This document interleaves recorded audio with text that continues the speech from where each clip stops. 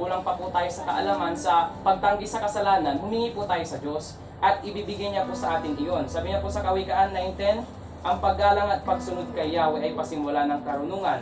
Ang pagkilala sa banal na Diyos ay may dulot na kaalaman. So kung gusto po natin na magkaroon ng karunungan at kung gusto po natin magkaroon ng kaalaman, kailangan unang-una sumunod tayo sa Diyos. Sumunod tayo sa kanyang mga inuutos at lalong-lalo na magpasakop tayo sa sa mga namumuno sa atin or sa mga nag-share ng Word of God.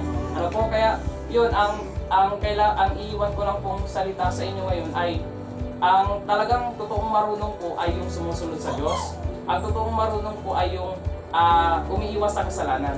Yun po yung uh, na mapag-aaralan po natin ngayong araw. Amen.